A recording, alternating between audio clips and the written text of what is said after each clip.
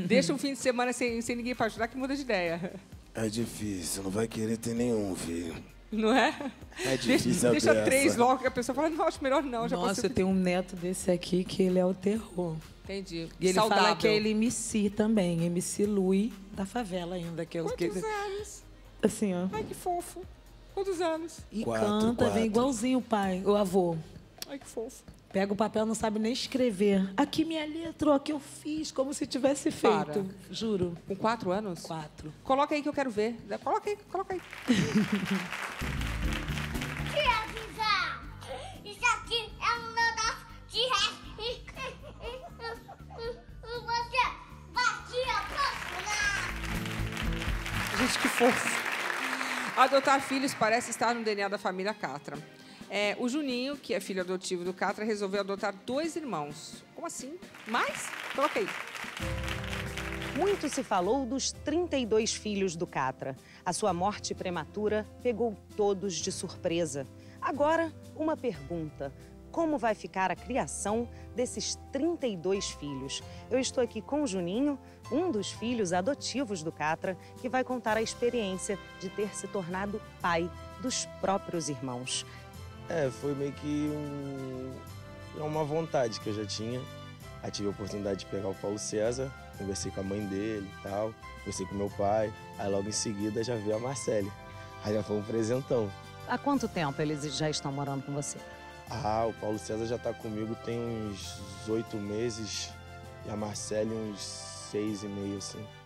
No início, né? Como é que a Marcele entendeu essa história? Como é que o Paulo César reagiu? Ah, foi tranquilo. Pelo fato de, de a gente já ficar junto na casa do meu pai, ele só dormia comigo, via agarrado comigo, ela também sempre foi muito agarrada comigo. Você adotou seus irmãos, então, antes, né, do Catra vir a falecer. Sim, sim, antes do meu pai vir a falecer. Ele, ele então concordou com isso também. Concordou, concordou. Sempre conversou comigo, meu pai sempre conversou comigo o fato da responsabilidade e a família. Meu pai sempre passou pra gente que a gente sempre precisou da família por perto. Marcele, o Juninho é mais legal como pai ou como irmão? Os dois, ele faz o papel dos dois. Ele é um irmão maravilhoso. O que, que ele faz como pai pra você? Faz tudo. Ele cria, leva pra escola todo dia. É, faz tudo. Agora, gente, eu vou mostrar um pouquinho, Luciana. Olha só, ele tem uma inicial aqui no braço. Aqui. Tá escrito Sagrada Família Sagrada Família. Família Sagrada Família, né? Hoje a família está aqui reunida, passaram por um momento difícil e se você pudesse dizer qual, qual legado, né, o Catra deixou de mais importante para vocês, você diria que é o quê? É minha família. O amor. O legado é esse que meu pai deixou, aquele amor, aquela pessoa maravilhosa. Quem conheceu sabe, quem conviveu assim, via que ele era o sinônimo de amor. Bom, muita gente, Luciana, pergunta para o Juninho em relação à questão do fato dele ser adotivo, né? Dele ser um filho adotivo. As pessoas comentam o que com você, Juninho, sobre isso? Ah, o pessoal me pergunta muito. Ah, Juninho, como é que é assim ser adotado e tal? Olha, eu tenho uma coisa que eu venho passando para as pessoas, eu vou falar agora aqui. É maravilhoso, cara, porque é o amor, sabe? Acho que independente da pessoa que ela te adotar, ela não vai te tratar diferente de um outro filho, entendeu? De qualquer outra pessoa. É o amor. Independente de você ser legítimo ou ser adotivo, você tá ali por amor. É isso, Luciana. A gente volta ao palco do Super Pop, recheado de amor e com esse legado, né, que o Catra deixou para todo mundo, que é família, Sagrada Família. Ô, Silvia, me, me explica por que, que o Juninho acabou ajudando e adotou dois filhos. Como é que é essa história? A família inteira unida, se ajudando? Me explica. Sim, porque o Paulo César era novinho, ele falou, tia, tia, né, assim, vou pegar eles aqui, porque eu já estou andando, já estou já trabalhando, estou seguindo, vou ajudar a senhora. Aí pegou a Marcele e o Paulo César, E a Marcele e o Paulo César eram filhos adotivos ou filhos... adotivos, Tá. E o Juninho também? também, Bonitinho. bonitinho. Então, quantos anos tem o Juninho? Juninho tá com 20, 24. Juninho tá com 24. Isso. Maduro, né? Então ele pegou para ajudar, é isso? É. o 24 Paulo. César tá com 12. 12. 12. E ele pegou para ajudar. É, e a Marcele tem 17, né? 17. É, A Marcela tá com 17, 17. sim. 17. Agora, tem um filho que é o, vamos dizer assim, o chefe da família ou não? É todo mundo junto? Não, todo mundo todo junto. mundo junto. E qual a maior lição que o pai de vocês deixou para vocês, se vocês puderem? Ah, É união, primeiramente, família. cara, a humildade é a essência da vida. Se você tem humildade, você chega e sai de qualquer lugar, cara. Verdade. Você chega e sai de qualquer lugar, sempre ser um cara responsa com todo mundo, sabe? Que assim você consegue muita coisa na vida, cara. Vocês são muito unidos, né? É, sim, sim, sim. Meu pai sempre ensinou a gente a ser muito unido. Sempre ensinou a gente que, pô, se não for, se não for todo mundo junto, não vai ninguém. É, ele sempre falava Ele isso. tinha isso, né?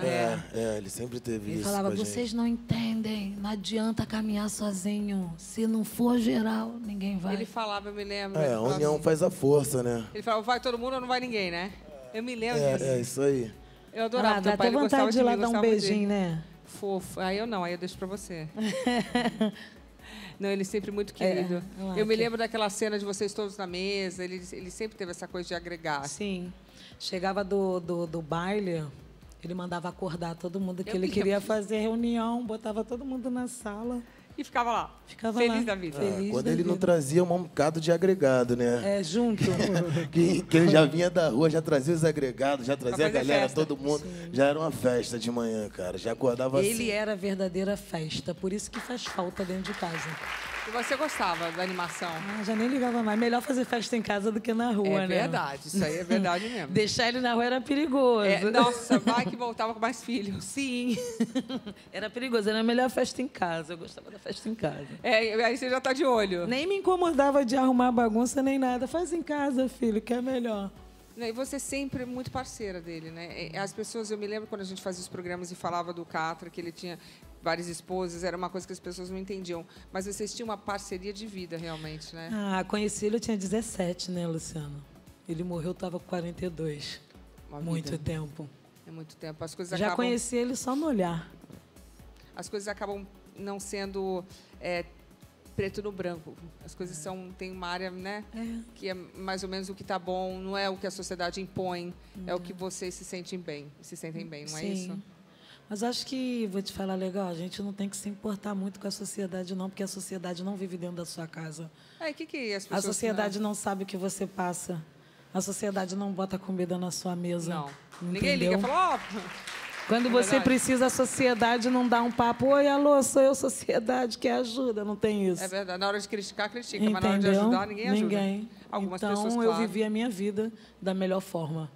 Agora, hoje em dia, dá para fazer com as meninas igual que teu pai fazia? Dá para você ter várias? Seu bonitão aí. Ah, Você apanha quando Vamos chega tentar, vamos tentar, né? Ah, vamos cara? tentar, é ótimo. que- Vamos Tenta. devagarzinho, devagarzinho tu chega, Sei. chega lá, devagarzinho você chega lá, cara. Mas a princesa tem um nome? Oi? A sua princesa tem um nome? Pô, são algumas princesas, Ah, tem várias cara. princesas também? Não, Vai eu não apanhar, gosto vai de citar apanhar. nomes que é... Eu quero que saber é... se ele vai apanhar, Silvia. Vai. Vai apanhar. Vai apanhar chegar em Vai, casa. sabe por quê? Porque eles arrumaram princesas, mas não arrumaram uma Silvia. Ó, Entendeu? É, filha, a mamãe daqui ainda vai ter que dar bastante aula para elas poderem se colocar, porque é? ainda não estão muito colocadas, não. ainda também perdidas. Não, de vez em quando, nós briga aí, filha. Da, da barraco? Da barraco? Dá. Ah, da barraco? Gostosinhos, né? É, da Delicinha. É, elas têm que se adaptar, né? Esse jeito, né? Esse jeito de ser. É, elas escolhem se adaptar. Não É. tem que. Se- se- Fica se Sim. quiser, né? É verdade. É, fica se quiser, exatamente, É, claro. Fica se exatamente. quiser.